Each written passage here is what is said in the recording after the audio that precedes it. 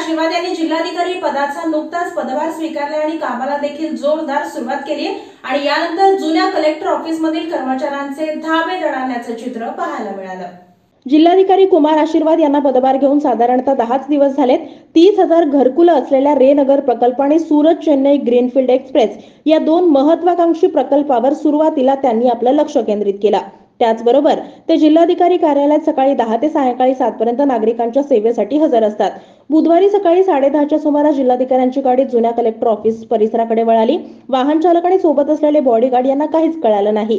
या परिसरातील प्रांताधिकारी क्रमांक एक प्रांताधिकारी क्रमांक दोन जिल्हा पुरवठा अधिकारी कार्यालय त्यासोबतच भूसंपादन अधिकारी कार्यालय संजय गांधी निराधार योजना कार्यालय करमणूक कर कार्यालय उपजिल्हा निवडणूक अधिकारी कार्यालय खालच्या बाजूला असलेली प्रशासकीय इमारतीमधली सर्व कार्यालय परिसरात पाहणी केली. आणि जुने जिल्हाधिकारी कार्यालय पाहिलं साडेदहाच्या सुमारासही बरेचसे कर्मचारी कार्यालयात हजर नव्हते. याबद्दल त्यांनी तीव्र नाराजी व्यक्त केली. कार्यालय परिसराच्या अस्वच्छतेवर त्यांनी संताप व्यक्त केला.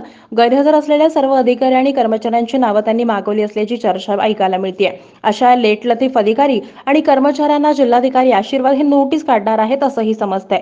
जिल्हाधिकाऱ्यांनी दिलेल्या या अचानक भेटीमुळे गैरहजर असलेल्या अधिकारी कर्मचाऱ्यांचे मात्र चांगलेच धाबे आणलेत.